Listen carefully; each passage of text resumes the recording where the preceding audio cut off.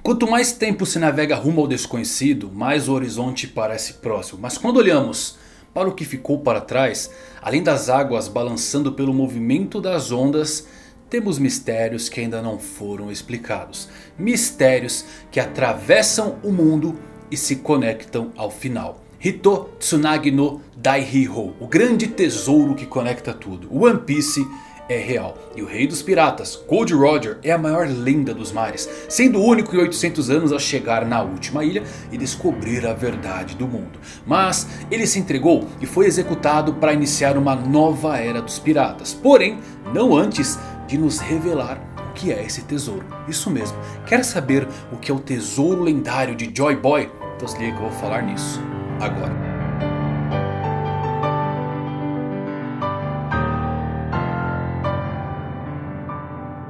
Fala galera, Evandro Fusari com mais um vídeo pra vocês, como é que vocês estão? Espero que todos vocês estejam maravilhosamente bem. Hoje eu tô trazendo um vídeo muito legal que é uma teoria muito popular na Coreia. Eu gosto de visitar um pouco essas teorias populares fora das Américas aqui Porque eles têm uma visão tanto quanto interessante do mundo de One Piece A teoria bem famosa de existir dois Shanks no mundo inclusive veio lá do Japão e aqui no ocidente não é tão discutida assim. Então eu trouxe essa teoria que há tempos eu achava ela curiosa, interessante, queria compartilhar aqui com vocês. Eu adicionei alguns pensamentos para dar uma complementada e eu espero que você goste. Assiste até o final porque tá muito legal esse vídeo. Se você é novo no canal, aproveita para se inscrever. Se já é membro da pior geração, dispara o like. E agora com vocês, tudo sobre o que é o Tesouro One Piece.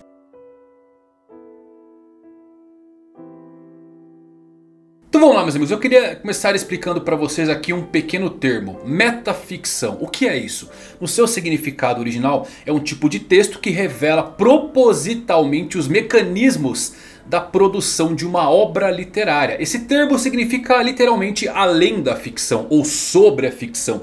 Indicando que o narrador ou o autor está acima do texto ficcional e o observa ou julga de maneira autoconsciente sua história. Às vezes até os personagens da história acabam percebendo isso e é sobre esse ponto que vamos nos aventurar. Voltemos ao início da série The One Piece. Todos lembram das icônicas frases que abrem a série. Riqueza, fama, poder, o homem que conquistou tudo nesse mundo. Gold Roger, meu tesouro, se quiserem podem pegar. Procurem-no, deixei tudo naquele lugar. Mas e se eu disser para você que essa frase tão clássica, tão emblemática, está errada? Sim, essa tradução foi feita por fãs. Roger nunca disse que deixou tudo naquele lugar. Na tradução oficial ele diz, meu tesouro é seu se você encontrar, mas você terá que procurar pelo mundo inteiro. E melhor ainda, no original japonês você pode ler isto como meu tesouro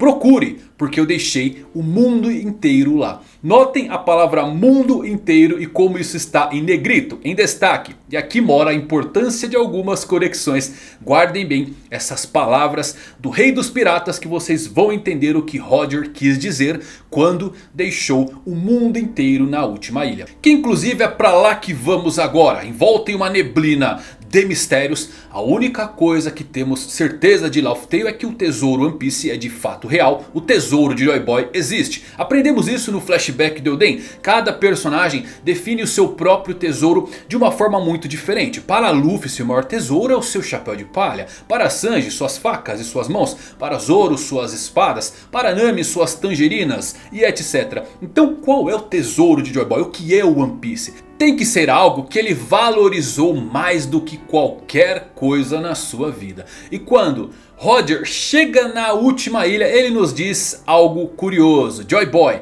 você deixou um tesouro tão inacreditável. Que história engraçada. E de acordo com isso, podemos supor que o tesouro de Joy Boy é uma história engraçada. Então One Piece é a história de Joy Boy, a história do século perdido. Muitos fãs realmente especulam isso devido a essa frase de Roger, mas... Não, se o One Piece é a história dele, qual seria o objetivo de existir o Rio Poneglyph que Robin tanto busca? A reunião dos Poneglyphs que realmente contam a história do século perdido. Talvez One Piece seja então o Poneglyph final que falta do Rio Poneglyph?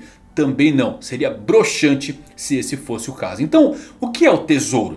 Primeiro, One Piece em japonês é escrito como Hito Tsunagi no Daihiro e tem três significados, exatamente. Grande tesouro escondido em uma peça, mar em paz e algo que conecta as pessoas. Ou a corda que conecta as pessoas. Então o tesouro One Piece é algo que liga as pessoas. Seria o saque de Binks? Não, algo muito maior. E isso é uma corda. Mas o que seria uma corda no mundo de One Piece? Olhem para essa imagem. Notaram algo curioso ligado do início ao fim? Deixe-me explicar o significado do logotipo de One Piece que tem sim algo a mais e foi desenhado pelo próprio Eiichiro Oda.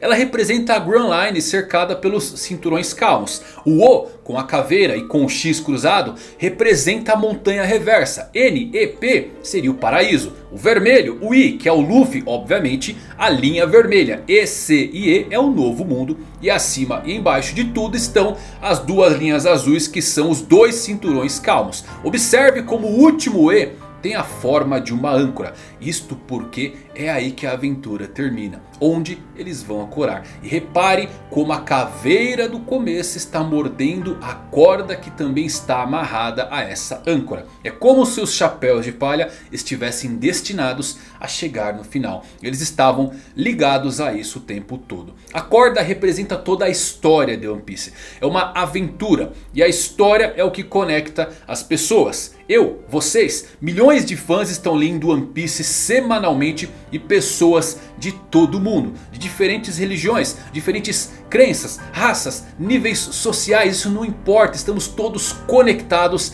através do tesouro One Piece.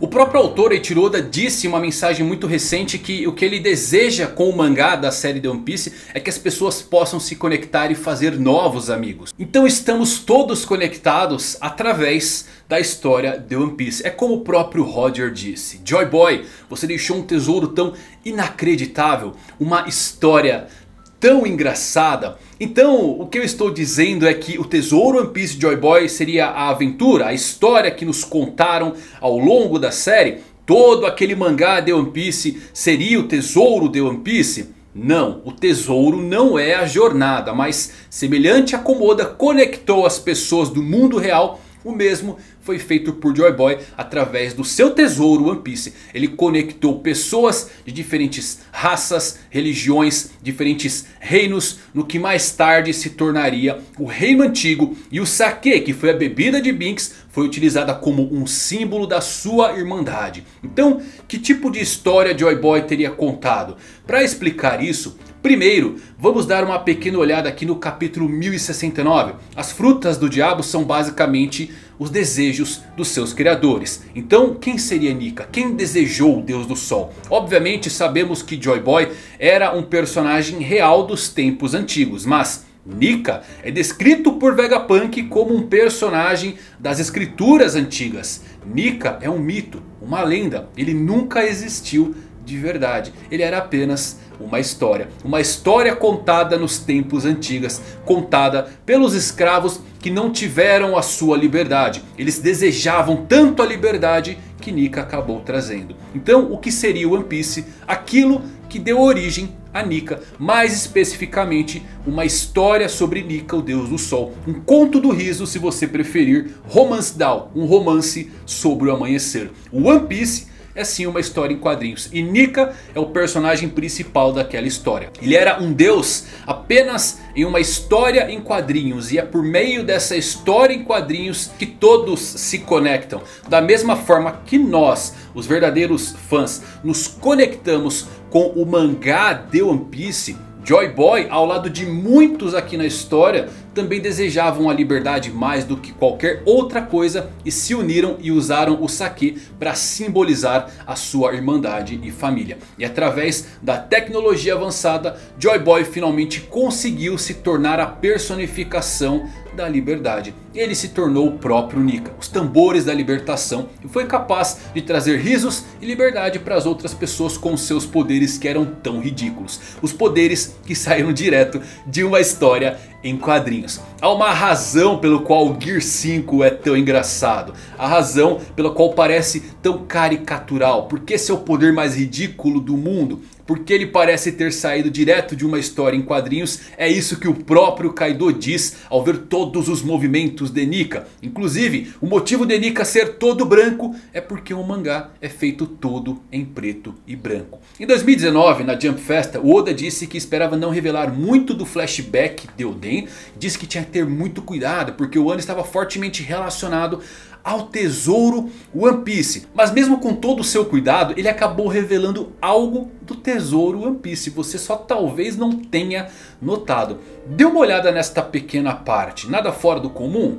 Então o que é isso quando se amplia a imagem? Roger está segurando algo, um livro? Seria um livro em quadrinhos? Ele está segurando uma história engraçada e diz que é uma história cheia de risadas. Que meus amigos é a única peça restante da história em quadrinhos de Nika. O tesouro de Joy Boy. Olha que coisa interessante. No capítulo 585 descobrimos que o sonho de Sabo é literalmente escrever um livro contando sobre o mundo. E depois Ace diz que seria o maior pirata de todos. Não sabemos o sonho do Luffy, mas seguindo o mote da vontade herdada...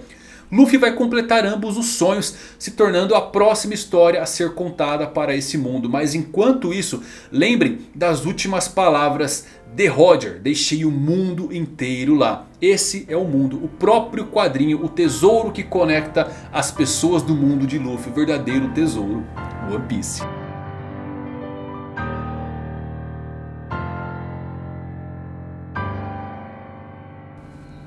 Interessante isso né galera, tem uns pontos aí que realmente é, me surpreenderam. Essas conexões do logotipo, Nika realmente sendo todo branco como personagem de um mangá. E toda essa forma do Rubber Rose que é essa parte caricatural dos quadrinhos antigos, uma homenagem que Oda fez. Mas será que Nika realmente não saiu de uma história em quadrinhos? Seria esse o tesouro One Piece? Obviamente que isto não responde todas as diversas perguntas que cercam e envolvem o tesouro em si. Porque Roger chegou cedo, porque as armas ancestrais se fazem necessárias. Mas ainda assim é uma teoria um tanto quanto divertida. E dá pra ir além disso. Será que o inimigo dos deuses, será que os D não são inimigos do próprio autor? Afinal quando Luffy chegar ao final da sua história esse mundo vai se acabar. E o autor briga com os D para evitar isso, para que a história continue. Isso é metaficção. O que você achou desse vídeo? Gostou da teoria? Se você gostou, deixa um like, compartilha com seus amigos aí. Até a próxima, tá? Valeu por assistir. Fui!